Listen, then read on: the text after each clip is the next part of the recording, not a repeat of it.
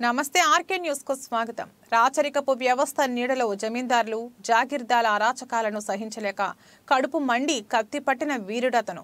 దళిత బహుజనులు ఏకమై పోరాడితేనే రాజ్యాధికారం సాధించవచ్చని నిరూపించిన సామాన్యుడు సర్దార్ సర్వాయి పాపన్న గౌడని మంత్రి జూపల్లి కృష్ణారావు అన్నారు.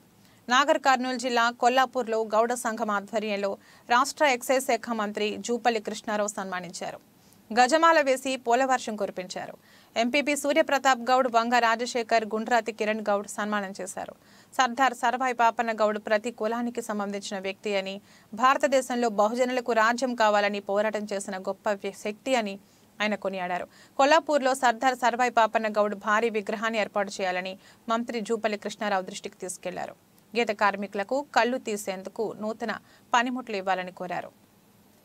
సర్దార్ సర్వాయి పాపన్న గౌడ్ వారసుల కోరికలను తీరుస్తానని ఆయన అన్నారు. ఇప్పుడు మన ప్రియతమ నేత ఎక్సైజ్ శాఖ మంత్రులు కొల్లాపూర్లో కూడా ఎప్పుడు లేని విధాలుగా మీకు విజయాలు రావడం జరిగింది. అంటే గౌడ కులం ఒక్కరే కాదు అన్ని సామాజిక కులాలు మొత్తం కూడా పెద్ద ఎత్తున మిమ్మల్ని గెలిపించడం జరిగింది. మరి మీరు కూడా అదేవిధంగా పని చేస్తా ఉన్నారు. మరి ఈ కార్యక్రమం ఉద్దేశం చేస్తారంటే కొన్ని మా గౌరవ గ్రంథులు గౌరవ సంబంధించినటువంటి కొన్ని హక్కుల కోసానికి వాళ్ళు అడగడం జరుగుతూ ఉంది. మరి అవి ఏవే మీకు వీళ్ళంత వరకు కూడా అందరూ కూడా న్యాయం చేయాలి సార్. దయచేసి ఎందుకంటే మీరు మంత్రిగా కావడం అంటే ఎక్సైజ్ శాఖ మంత్రి కావడం మా అందరికీ అదృష్టం. అదేవిధంగా కొన్- మాట్లాడు జిల్లా అదృష్టం. మరి మీరు ఖచ్చితంగా మీకు వీలంత వరకు కూడా న్యాయం చేయాల్సి అనుకుంటున్నాం సార్. మరి అవేమి మిత్రుడు రాజశేఖర్ గారు వివరిస్తారు. మరి నాకు ఇచ్చిన అవకాశం అందరూ శాతం ఆల్రెడీ గవర్నమెంట్ డిబేట్లో యాభై ఐదు సంవత్సరాలు సంవత్సరాల వయసు ఉన్నటువంటి గీతగారు అందరికీ పెన్షన్ వచ్చేటట్టు చూసే బాధ్యత అది. తప్పకుండా ఆ యొక్క ఆంధ్రప్రదేశ్ అలాగే అలాగే భాషతో ప్రధాన ప్రమాణవశాత్తు మరి చనిపోయినటువంటి కుటుంబాలకు పదహైదు లక్షలు ఎక్స్గ్రేజ్ చెల్లించాలి. ఎంతుంది అనేది సమితి చేయలేదు. ప్రజల వస్తున్నాయా? అయినది అటువంటి జరిగిన సంఘటనలు రాని వాళ్ళు ఉంటే తప్పకుండా సిద్ధపడతా. దీన్ని పెంచే విధానం చేస్తారు తప్పకుండా దీన్ని గౌరవ ముఖ్యమంత్రి రేవంత్ గారితో మాట్లాడి దీన్ని పెంచేటువంటి కూడా ప్రయత్నం చేస్తాను చెప్పని మీ అందరికీ సవినంగా అందజేసుకుంటూ చేసుకుంటూ ఎందుకంటే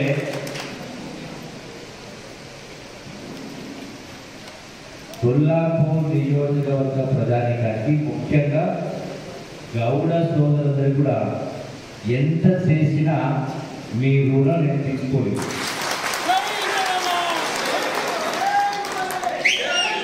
ఎందుకంటే ప్రతి సందర్భంలో గడిచిన ఏడు పర్యాలు ఈ ఏడు పర్యాలు కూడా గౌడ సోదరులందరూ పెద్ద ఎత్తున ఈ సహాయ సహకారాలు అందించడం జరిగింది కాబట్టి నన్ను ఆశీర్వ నన్ను ఆశీర్వదించింది కాబట్టి ఈనాడు నేను మంత్రి అంటే ఇది నా గొప్పతనం కాదు. మీ అందరి ఆశీర్వాదాలనే ఈ యొక్క గౌరవం తగ్గిందని నాకు వచ్చేటువంటి పది కోట్ల రూపాయలు నేను ఏ కార్యకర్త ఏ నాయకుడైనా కూడా దాన్ని డబ్బులు ఇవ్వకుండా కేవలం ఈ విద్య కోసం ఆరోగ్యం కోసమే ఖర్చు పెడతా. అందుకని పిల్లల భవిష్యత్తు కోసం ఆరోగ్యాల కోసమే ఖర్చు పెడతా. ఎవరు తిట్టుకోవద్దు ఎవరేమరు మిగతా స్కీమ్ ఉంటే అర్థం చేద్దాం అంటే ఇది బాధ్యత. వీళ్ళ గౌరవ లేరా? పిల్లలు బిడ్డ లేరా? లక్షలు ఖర్చు పెట్టలేరా? అప్పుల పాలు ఎత్తలేరా? దయచేసి మన బాధ్యత మన కర్తవ్యం కాబట్టి నేను చేసేది చేస్తాను పై మీరు మీరు అడిగినవన్నీ కూడా పైసలు ఖర్చు చేయండి పైసలు ఖర్చు నేను చేస్తాను పైసలు ఖర్చు కానివి మీరు కూడా పాటించండి. నా కోసం కాదు మీ కోసం మీ పిల్లల భవిష్యత్తు కోసం సమాజ భవిష్యత్తు కోసం. కలిసి మీరు మీరు నేను కాదు. మనందరం సమాజంలో కుటుంబ సభ్యులు. సోదరుల అభివృద్ధి కోసం అభివృద్ధి కోసమే ఉపయోగపడేట నా ప్రయత్నం. వాళ్ళ ముఖ్యమంత్రితో మాట్లాడి అట్లాగే గీత గీత కార్పొరేషన్ ఏర్పాటు చేయాలని తప్పకుండా వంద శాతం ఒకటే. మీరైనా మేమైనా ప్రజల కోసం ప్రజల మేలు కోసం కావచ్చు మనం చేసే ఏ పని వలన మీరు మీ కాళ్ళపై నిలబడాలా? మీ ఆర్థిక శక్తి పెరగడం వంద శాతం. దానికి నా సహాయ శాఖ అంతా చెప్పి చేస్తూ తప్పకుండా ఇది కాకుండా వేరే చాలా నడుస్తామని ఉన్నాయి నార్కాటిక్స్ అంటే మాదక ద్రవ్యాలు ఎక్కడో వాళ్ళకు నాకు నా దృష్టికి వస్తుంది పదహైదు పదహారు సంవత్సరాల వయసు పిల్లలు అదే గంజాయి కావచ్చు రబ్బరు తయారు అతికించేటువంటి రబ్బర్ మీద కాల్చి పొగ పిలిచే కావాలంటే రకరకాలు ఉన్నాయి. సో వాటిపైన గౌరవ ముఖ్యమంత్రి గారు కూడా మొదటిసారి సమస్యలో పెద్ద స్పష్టంగా ఆదేశాలు ఇవ్వడం జరిగింది రాష్ట్ర యంత్రానికి ఎక్కడ కూడా ఈ యొక్క సమాజాన్ని కలిసేటటువంటి ఈ నార్కాటిక్ డ్రగ్స్ వాటిపైన ఉక్కుపాదం మోపాలని చెప్పని గౌరవ ముఖ్యమంత్రి నిర్ణయం తీసుకోవడం జరిగింది. గౌడకులకు సంబంధించి మీ పుట్టగుట్ట పని చేయ తప్పకుండా మనందరం ప్రజలు మీరు చేసే కార్యక్రమం చేయాలని గతంలో నడిచిన ప్రకారమే అదే ప్రయత్నం ప్రయత్నం చేస్తారని అందరితో ధన్యంగా విజ్ఞప్తి చేసుకుంటూ రెండవది సందర్భం వచ్చినప్పుడు మనం మాట్లాడుకోవాలి ఫ్యూచర్ తెలంగాణ రాష్ట్ర రాష్ట్రం కావడానికి యావత్ తెలంగాణ సమాజం సంఘటితమై ఒక శక్తి ఏర్పడింది. ఆ చదువు నేర్చుకోవడం వల్ల అంటే విద్య విద్య అంటే అక్షర జ్ఞానం ఒకటే కాదు. ఇంగ్లీష్ నేర్చుకోవడం ఒకటే కాదు. లెక్కలు నేర్చుకోవడం ఒకటే కాదు. విద్య అంటే తనని తాను సంస్కరించుకోవడం. సమాజాన్ని సంస్కరించి విలువలు కావచ్చు ధైర్యసాధనలు కావచ్చు నిజాయితీ కావచ్చు పోరాట సర్వాపాత్రగా పోరాట పట్టుబడి కావచ్చు. ఇవన్నీ కూడా నేర్పించేదే విద్య. ఆ విద్య కొరబడి చదివేస్తే ఉన్నమతి పోయినట్టుగా గల్లి నుంచి ఢిల్లీలాగా చూస్తూ అన్నమాట అది ఏ రంగమైనా రాజకీయ రంగమైనా ఉద్యోగ రంగమైనా ఇంకోటైనా ఆ విలువలు పాటిస్తుంది కదా జరుగుతుంది ఇలా ఎన్నో సమాజంలో ఎన్నో రకాల ఘోరాలు నేరాలు జరుగుతూ ఉన్నాయి. ఇది జరగడానికి కూడా కారణం సరైన విద్య లేకపోవడం. కాబట్టి అందుకనే గ్రామాలను చూస్తూ ఉన్నాం. సర్పంచ్ ఓటేస్తే ప్రజలు ఏమైనా సర్పంచ్ చేసి ఇవి చేస్తుంది శాపనార్థం పెడతా ఉంటారు. అందుకే ఎడ్యుకేషన్ ఎడ్యుకేషన్ కానీ వాళ్ళ పరిధిలో కూడా వాళ్ళు చేయగలుగుతారు వాళ్ళ పరిధిలో మనం చేయలేదు ప్రభుత్వం వాళ్ళు చేయగలరు. అందుకనే వాస్తవ ప్రజలకు ఆ తెలియని కారణంగా అంటే చట్టము రాజ్యాంగము అధికారాలు నిధులు విధులు పైన అవగాహన లేని కారణంగా అమాయకత్వంతో ప్రశ్నిస్తా ఉన్నారు. అంటే తెలవాల్సిన అవసరం కాకపోతే ఒక హామీ ఇచ్చిన ప్రత్యేకిస్తారు వంద శాతం ఒక హామీ ఇస్తా నిజాయితీగా పనిచేస్తా పద్ధతిలో పనిచేస్తా నా శాతం పనిచేస్తా నా చేతిలో ఉన్నది ఏదైనా చేస్తానని ప్రతిదీ హామీ కానీ ఏ హామీ ఇవ్వకపోయినా అన్ని పనులు చేసి నా చేతిలో ఉన్న మంత్రి పదవి ఎమ్మెల్యే పదవి కూడా నా చేతిలో కాబట్టి వదిలిపెట్టిన అన్నాడు అదే నాకు అట్లనే ఈరోజు మీరు అడిగినటువంటి డిమాండ్ ఏమిటో ఐదు వందల అరవై ప్రకారం ప్రతి తొమ్మిది ఐదు ఎకరాల భూమి కావచ్చు. ఏంటంటే అట్లా మాట్లాడరు కలువ అంటారు నేను అంటే ఏం తప్పు మాట్లాడాను? నేను ఈ రోజు కూడా పొద్దున్నే రోజు రెండు జొన్నలు తింటా. మంచిగా పప్పు నెయ్యి వేసుకుంటా. ఓ గ్లాస్ తప్పే కాదు. అంటే నేను చెప్పిన సబ్జెక్ట్ పక్క పోయింది కలే ముందుకు వచ్చింది మరి పది సంవత్సరాల తర్వాత ఈ మధ్యలో నెల రెండు నెలల కింద ఉదయం కూడా పిల్లలకు టిఫిన్ పెట్టడం చెప్పినట్టు నేను చెప్పింది ఏంటి? పదేళ్ళ కింద? అంటే అప్పుడు ఏమవుతుంది ఎలా రాష్ట్రంలో గురుకుల పాఠశాల మారే ఉంటా ఉంటారు. కారు అడ్మిషన్ వల్ల కారు అడ్మిషన్ కాబట్టి విపరీతంగా బాధపడతా ఉంటారు. అవసరమైతే రాకుండా తిట్టుకుంటారు చేస్తారు. మొత్తం గురుకుల పాఠశాలలు ఉన్నటువంటిది రాష్ట్రంలో సుమారుగా వెయ్యి గురుకుల పాఠాలు ఈ వెయ్యి గురుకుల పాఠ మొత్తం కలిపి చదువుతున్న విద్యార్థుల సంఖ్య సుమారుగా నాలుగు లక్షల మంది ఒ- ఒకటవ తరగతి నుంచి పదవ తరగతి గవర్నమెంట్ స్కూల్లో చదివే విద్యార్థుల సంఖ్య ఇరవై ఐదు లక్షలు నేను లెక్క తీసిన. డైరెక్టర్ ఆఫ్ స్కూల్ నుంచి లెక్క తెప్పించిన. ఇరవై ఐదు లక్షలు. ఇంటర్మీడియట్ డిగ్రీ ఫీజు కాకుండా.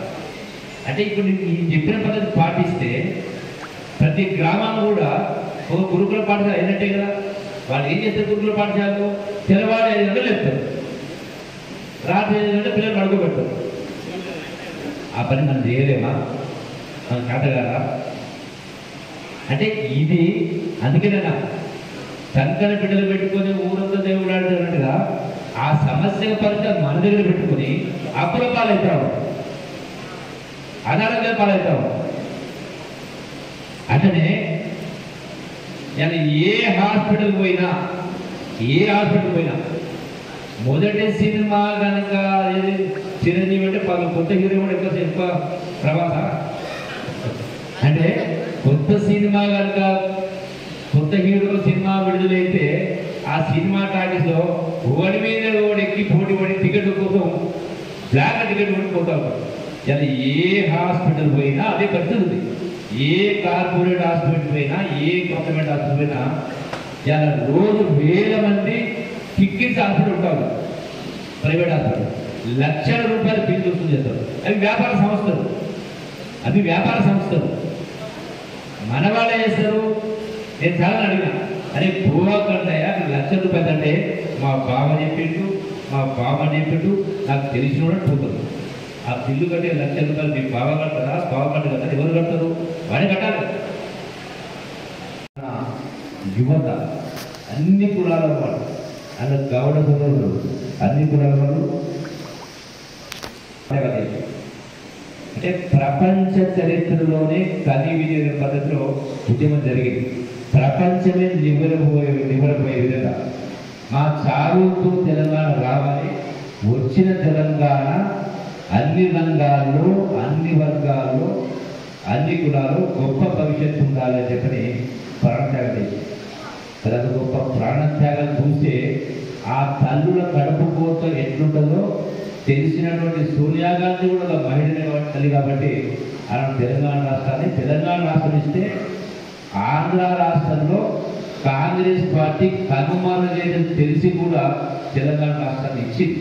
అయితే మరి అమరవీరుల కళ నెరవేరిందా? అంటే నెరవేరలే. ఏది అమరవీరుల కళ? అంటే గొప్ప రాష్ట్రం గొప్ప భవిష్యత్తు అన్ని రంగాల్లో ఒక పారదర్శకమైనటువంటి ఒక స్పష్టమైనటువంటి అభ్యున్నతి జరగాలని ఆశించి ఆత్మ చేస్తుంది. కానీ ఈ రోజున ఎంత జరిగినా ఆశించక నెరవేరు. ముఖ్యంగా రెండు రంగాలు. ఒకటి విద్య రెండు వైద్యం మూడవది ఉపాధి ఈ విద్యారంగం సంబంధించి గౌడ సోదరులైన ఉన్న ప్రజాప్రతినిధులు ఒక పురాణ ప్రజాప్రతినిధులు కాదు యావత్ గ్రామాలకైనా మండలాలకైనా నియోజకవర్గ నియోజకవర్గాలకైనా సమాజానికి మన ప్రజాప్రతినిధి ప్రజాప్రతినిధి అన్నప్పుడు మనకు బాధ్యత. తీసేసిన రద్దు చేయడం కాదు. అంటే టీఎంపీ టీచర్స్ను రద్దు చేయాలని జీవో ఇస్తే అది ఏ విధంగా చేస్తారు టీఎంపీ వాళ్ళు పెట్టుకుంటారు.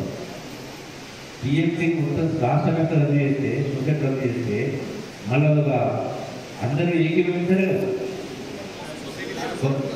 దీని దీన్ని రాసింది దీన్ని రాసింది దీన్ని రాసినది ఇంత ఉన్న నాలుగు వేల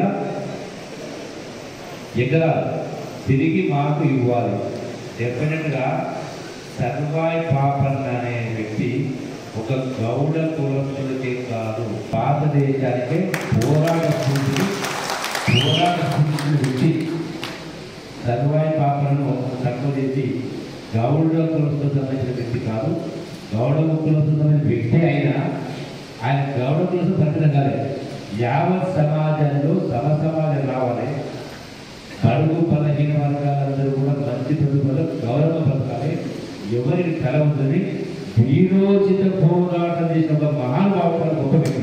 తప్పకుండా ఆ వారి యొక్క వీరందరూ కూడా సర్వాయి పాపన్న వారసులు వీరందరూ ఆ లక్షణాలను పుడికి పుంజుకున్నారు పుడికి పుంజుకోవాలి తప్పకుండా సర్వాయి పాపన్న యొక్క కీర్తి ప్రతిష్టలు యావత్ తెలంగాణ రాష్ట్రమే కాదు మొత్తం భారతదేశానికి ఆంధ్రప్రదేశ్ ఒక వ్యక్తి అట్టడు వచ్చి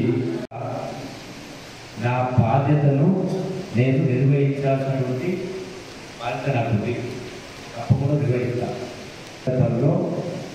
ఏడు పర్యాయాలు అన్ని గ్రామాల్లో పైకి తీసుకుని ఓట్ల సందర్భంలో ఎన్నికల ప్రచార భాగంలో ప్రసంగించాను కానీ ఎప్పుడు కూడా ఏ ఎన్నికల సభలో కూడా నేను ఏ ఒక్క హామీ కూడా ఇవ్వలేదు.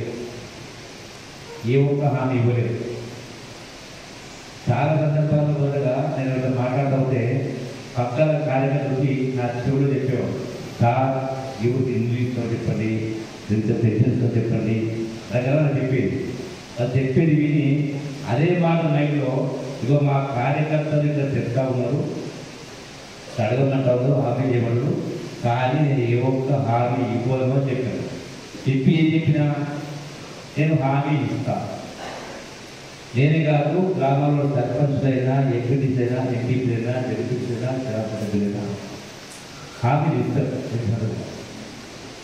గెలిచేది లేదు తెలియదు. గెలిచిన ఆ గెలిచిన ప్రజాప్రతినిధి పార్టీ అధికారంలోకి వస్తారో తెలియదు. అధికారంలోకి వచ్చిన ఆ పార్టీ ఆ ప్రభుత్వం ఆ ముఖ్యమంత్రి చేస్తారని చేస్తారో తెలియదు. అన్నప్పుడు అది తెలియడానికి కాదానికి హామీ ఇస్తే అది బోగస్ హామీ అవుతుంది గౌరవ గౌడ సోదరులో అత్యంత తను పేద పేద వర్గాల జనలో ఈనాటి కూడా ఇల్లు కట్టుకునే స్తోమత లేనివాళ్ళు ఇల్లు లేనివాళ్ళు కూర్చున్నాడు వంద శాతం అటువంటి వాళ్ళు వెతికి వాళ్ళకు ఈ యొక్క గృహ నిర్మాణం కోసం ఐదు లక్షల రూపాయలు ఇప్పించే బాధ్యత నాది. అంటే నిజాయితీగా నిజానికి ఎవరికి పైన చేయాల్సి ఉంటే ఎవరికి రూపాయలు లంచం చేయాల్సి లేకుండా గ్రామ గ్రామం తిరుగుతా ఇల్లు తిరుగుతా తప్పకుండా వాళ్ళకు న్యాయం చేసేటువంటి దాకా చేస్తారు మనం వేసుకుంటూ మరి పేదరిక పెరుగుదలకి ఉండగా అభినంది పౌరులు కావచ్చు ఈతకాలం ఒక్కొక్కరు చెప్పుకుంటూ వస్తాం ఏది చేయగలుగుతాం ఐదు వందల జీవ ప్రకారం ప్రభుత్వమే ప్రభుత్వ జీవోలు గవర్నమెంట్ ఆర్డర్ ఇచ్చింది. కానీ అమలు చేసేది ఆ ప్రభుత్వం చేయలేదు దళితులకు మూడెకరాలు ఇస్తున్నారు కాంగ్రెస్ ప్రభుత్వం ఉన్నప్పుడు ఆ ఒక ఐదు ఐదు వందల జీవో ఐదు ఎకరాలు ఇస్తున్నారు చేయలేదు. అంటే జీవోలకి పరిమితమైనది నాకు తెలిసి కొల్లాపూర్ నియోజకవర్గంలో ఒక్క కొల్లాపూర్ ఆనాడు గ్రామ పంచాయతీ కొల్లాపూర్నే ఒక ఐదు ఎకరాల భూమి ఈతవరం పెట్టడం జరిగింది. దానిలో ప్రభుత్వ సహకారం తక్కువ కూడా కొన్ని కొనడం జరిగినట్టుగా ఇదే ఎక్కడ కనపడలేదు తప్పకుండా అంటే ప్రభుత్వ పాలసీ నా ప్రయత్నం చేసి ప్రయత్నం నా చేతిలో ఖచ్చితంగా ఉంది. ప్రయత్నం నా చేతిలో ఉంది. నా ముందు ప్రయత్నం చేస్తా. చేస్తాను అట్లనే ఎక్కడైతే దున్నటానికి వీలైనటువంటి భూములు ఉంటే అంటే చెట్టు పెట్టడానికి అవకాశం పోతే తప్పకుండా దాని ప్రయత్నం చేస్తాం మనం ఏర్పాటు చేస్తాం. రెండవది మండల కేంద్రంలో కమ్యూనిటీ భవనాలు అంటాము మొన్ననే రెండు గ్రామాలు పోయినప్పుడు బహుశా పెద్ద రెండు గ్రామాలకు పురాతనంగా కమ్యూనిటీ అడిగారు మనకు అవగాహన బట్టి ఓపెన్గా చర్చించుకోవాలి ఇది మాట్లాడితే అది మాట్లాడలేము తప్పదు. వంద శాతం ప్రతిదీ ఓపెన్గా పనికి అర్థపడి చర్చించాలి అర్థం పెడితే ఎవరి కావాలా గ్రామ సర్పంచ్ గ్రామ పంచాయతీ ఇస్తే పొద్దున పెట్టుకోవచ్చు సాయంకాలం పెట్టుకోవచ్చు అన్ని కూడా పెట్టుకోవచ్చు ఇది అంటే ఏది ఆలోచించినా కొన్ని పద్ధతి ప్రకారం చేయాలి లేకపోతే గుడ్డెది చేయమన్నట్టుగా కరెక్ట్ కాదని నా అభిప్రాయం. అయినా కూడా ప్రభుత్వంతో సంప్రదించి ఏం చేయగలము ఇబ్బందులు అంటే ఏ కులమైనా మీటింగ్ పెట్టుకోవడానికి చర్చించుకోవడానికి ఇబ్బందులు లేకుండా ఏర్పాటు చేయాలని అవసరం ఉంటే దాన్ని ఒప్పుకుంటా దానికి ఏది మార్గం ఉంటే ఆ మార్గాన్ని ఆ సమస్య పోగొట్టే ప్రయత్నం తప్పకుండా చేస్తా దగ్గర మీ అందరికీ తెలిసి చేపిస్తాం దయచేసి నన్ను తిట్టుకోవద్దు నాకు నాకు వచ్చినట్టే ఆలోచిస్తావు. తప్పకుండా వాళ్ళు ప్రయత్నం చేస్తారు ప్రతి కులాలకు ఒక కమిటీ అడుగుతాం ఎన్ని కులాలు ఉన్నాయి? అది ముప్పై నలభై కులాలు యాదవులు గౌరవులు బుద్ధరాజు రకరకాల వాళ్ళు ఎస్సీలు ఎస్సీపీలు అంటే ఒక్కొక్క గ్రామంలో ముప్పై నలభై మంది వాళ్ళు ప్రతి కులానికి ఒక కమ్యూనిటీ హాల్ కూడా వల్ల గత నలభై ఎనిమిది చూస్తామో కమ్యూనిటీ హాల్ అక్కడ ఉన్నాయి. అవన్నీ పూజ పట్టిపోయినాయో చెత్త పట్టినాయో ఇప్పుడు ఆరు యాభై తెలుస్తుందో తెలియదు కొన్ని కూలిపోయి ఉన్నాయి. వాడడం అంటే అందుకని ప్రభుత్వ సొమ్ము కూడా మనసుగా భావించి ఉపయోగపడాలి నేను ప్రభుత్వానికి ఒక ప్రభుత్వం ఎక్కడ కాదు వేడి ఇలా గ్రామాలలో రైతు వేదికలు కట్టారు సుమారుగా ఐదు వందలు. గతంలో కమిటీ ఆపుతుంది గ్రామానికి దగ్గరలో గ్రామాల్లో ఒక పక్కన నాకు తెలిసి ఎక్కడ కూడా మహాదరైతే ఒక మీటింగ్ పెట్టి పెట్టుకుంటాడు రైతు రైతు పొలం ఉంది కదా. అంటే ఏది కూడా ఎక్కడ కూడా కట్టినా కూడా మీకు ఉపయోగపడడం లేదు. అందుకని నేనేమంటే ప్రభుత్వం ప్రభుత్వంటే ఈ అన్ని భవనాలు గ్రామాల్లో పెద్ద భవనమైనా రైతు వేదికైనా ఇంకోటైనా ఈవెన్ గవర్నమెంట్ స్కూల్స్ అయినా కూడా వీటిని గ్రామ పంచాయతీలో కూడా సరే హాస్టల్ ఈ రైతు వేదికని గ్రామ పంచాయతీ అభివృద్ధి పెడితే అంటే దానికి ఫ్రీగా కావచ్చు లేకపోతే మెయింటెనెన్స్ యాభై రూపాయలు మంది ఎవరైనా దాన్ని మీటింగ్ అయినా పెళ్ళికి అయినా దేనికైనా వాడుకోవచ్చు. అంటే సార్ గౌరవ బిడ్డకి మధ్యాహ్నం అంటే ఇది ఒక కథ చెప్తుంది అని అనిపించదు.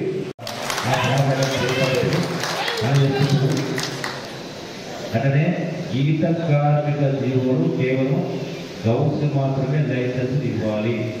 ఇతర కులాలకు ఇవ్వదని ఎవరు పొందుపరచడు ఇస్తున్నాడు ఇది నాకు వంద శాతం ఈ యొక్క టీఎంపీ లైసెన్స్లు గౌడ కులస్తులకే వచ్చినట్టు చూస్తాం రెండవది గీత ఈ గీత ఆ కళ్ళు తిరిగేదానికి అవసరమైన పనిముట్టు అది కూడా వాళ్ళ గాలి కింద పడకుండా సాంకేతిక పరిజ్ఞానంగా వచ్చినటువంటి ఆ నైపుణ్యతలో వాటిని అందుబాటులో ఏమున్నాయో భారతదేశం ఏమున్నాయో తెలుసుకుని అటువంటిది అందించే ప్రయత్నం తప్పకుండా చేస్తారు ఎవరి అందరికీ సవినయంగా వ్యక్తం చేస్తే